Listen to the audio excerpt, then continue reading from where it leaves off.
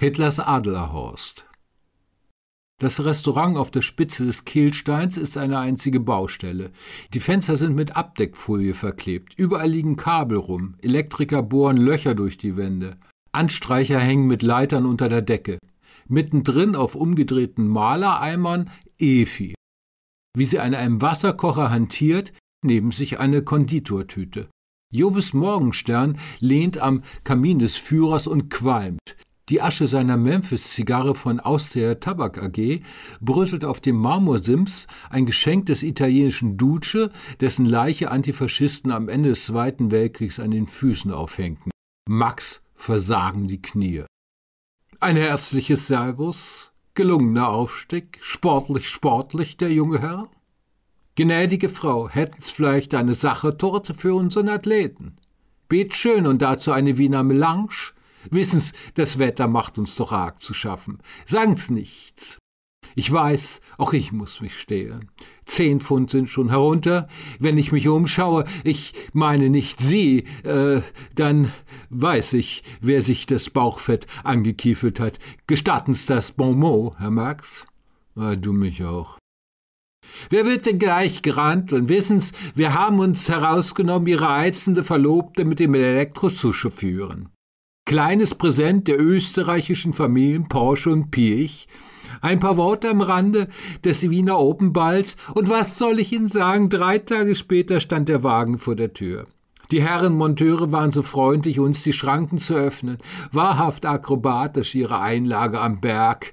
Herr Max, wollten's nicht stören bei der Akrobatik, sind ganz leis vorbeigefahren, meine Wenigkeit und das Fräulein Evi und der liebe Swaro. Der ist im Moment hier oben, bewundert draußen auf der Balustrade die Rundansicht. Unser Hofkapellmeister Wolfgang Amadeus, Gott habe ihn selig, wäre begeistert vom Fernblick ins schöne Salzburger Land. Negativ. Beschleunigung in 5 Sekunden auf 100 echt schlapp. Höchstgeschwindigkeit 160 Stundenkilometer ebenfalls.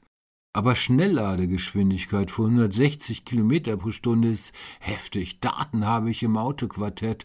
Will die Kiste Offroad testen. Mit Rock Me Amadeus wie beim Kampfeinsatz in. Ah, das war Falco, unser Schlagesänger, Herr Kriegsinvalid.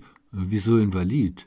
Ja, meins. Wir hätten sie sonst aufgenommen in die Wellnessfortbildung für Frontheimkehrer. Ja, wo denken's hin?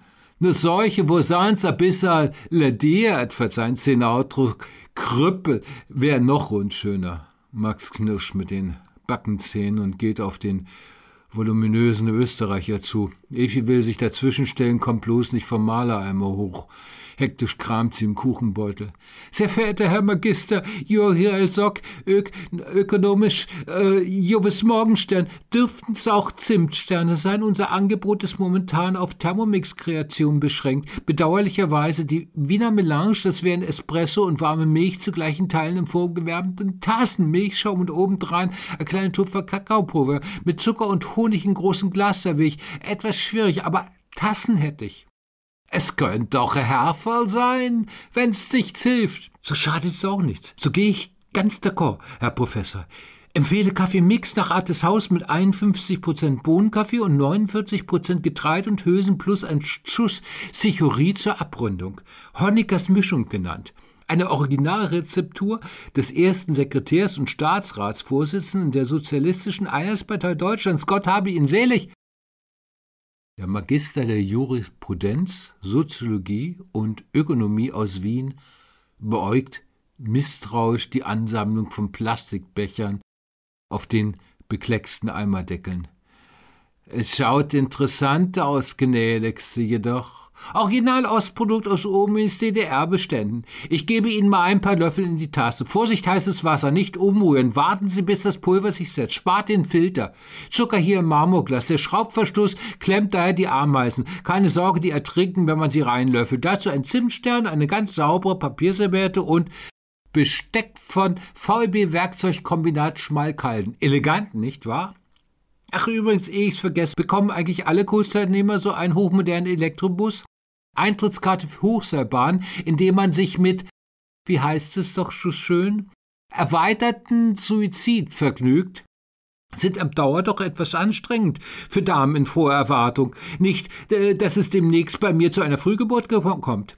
Ihre Kompetenzen allen Ehren, aber können Sie sich als Geburtshelfer vorstellen, mit beiden Arten voll rein in den schleimigen Mutterleib, das Ungeborene so drehen, dass ihm nicht die Nabelschnur den Hals abwirkt und dann noch das ganze Fruchtwasser, gar nicht zu reden, vom Bluten der Scheiße, natürlich noch Pisse, die unten rausflieht, wenn Frau als Mutter in Spee kräftig am Drücken ist. Ich musste mir heute Morgen nach dem Vorfall, Sie haben sicher davon in Nachrichten gehört, mein Näschen pudern. Sie verstehen? Wir Frauen sind etwas eitel. Dies entschuldigt natürlich nicht im geringsten unsere Verspätung, aber sie erklärt es zumindest. Dass mein Held der im Schweiße seines Angesichts hier vor Ihnen steht, mir in wahrhaft grandiosen Einsatz am Fuße der Prästunde das Leben gerettet hat, darf nicht unerwähnt bleiben.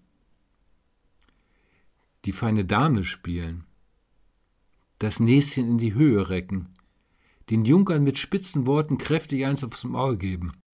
Das hat Evi von ihrer Uromi gelernt. Die war bis Frühjahr 1945, als sie vor den Russen flüchteten, Dienstmark auf einem pommerschen Landgut, hatte sich so einiges bei ihren hohen Herrschaften abgeguckt.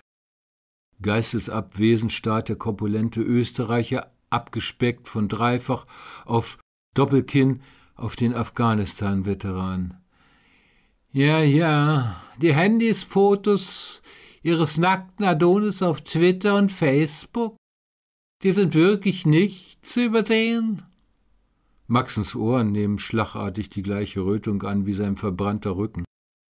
Morgenstern senkt seinen Blick auf die Ameisen, die während Efis Vortrag eine Straße gebaut haben, von der Zuckerdose über den Zimtkeks, der in der brütenden Hitze des Tages leicht matschig geworden ist, bis zum Kaffeemix-Plastikbecher. Etwas unschön das Ganze. Nicht, dass Sie mich missverstehen, wertes Fräulein. Wissen Sie, das bezieht sich nicht auf Ihre lobenswerte Kaffeehausbewirtung. Er stochert mit dem Original Ostalulöffel drin rum. Ich schweife ab. Wo waren wir gleich stehen geblieben? Dass Sie nicht umrühren, wegen der Kaffeekrümel. Soll das der Tadel sein? Keineswegs, Herr Professor. Was den Bus betrifft, ein ordentliches Ostprodukt wäre uns natürlich lieber. Siehst du das nicht auch so, Max? Ah, positiv. Laut Autoquartett soll der Elektrobarkas auch nicht so schlecht sein. 1975 in Karl-Marx-Stadt gebaut. Oder der Trabant Intim mit Lithium-Ionen-Batterie und Solardach 2007 als New Trabi vorgestellt. Herr Morgenstern, wir können das Seilbahnunglück natürlich auch an die Bildzeitung verkaufen, exklusiv mit Aktfotos vom Maxchen. Der ist ein Internetstar, wie Sie wissen. Die Presse wird ganz wild auf ihn sein. Morgenstern schüttelt seine Schwabbelbacken. Was das Klein-Klein der Umstände betrifft, wieso und weshalb man sie zum Lehrgang einlud, fragen's nachher bittschön den Zwaro. Na, danke schön. Jetzt auch noch beim Europol-Kommissar betteln. Der Österreicher nickt. Er scheint einen Geschluss gefasst zu haben. Beschwingt rührt er im Heißgetränk und wirbelt das Pulver durcheinander, das sich auf dem Boden der Plastiktasse abgesetzt hatte, nimmt einen kräftigen Schluck, hebt sein Haupt und lächelt breit. Kaffeekrümel verzieren sein Gebiss. Protektion ist alles. Sie haben da. Sagen's nichts, gnädigste.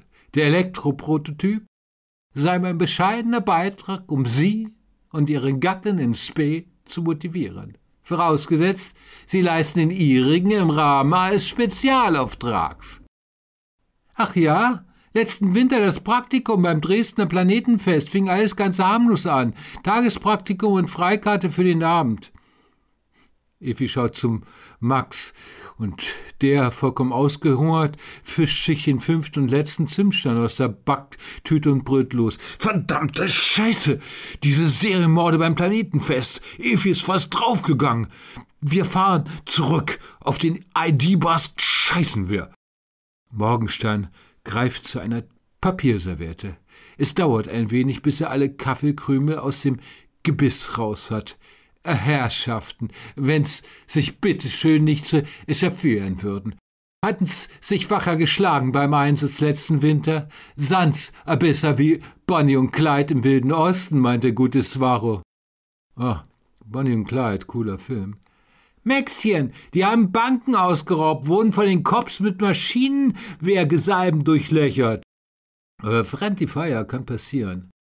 Zwarushi Squaresec hat es eingebaut. Komm raus auf den Balkonmarkt, den knöpfen wir uns vor. Knöpfen wir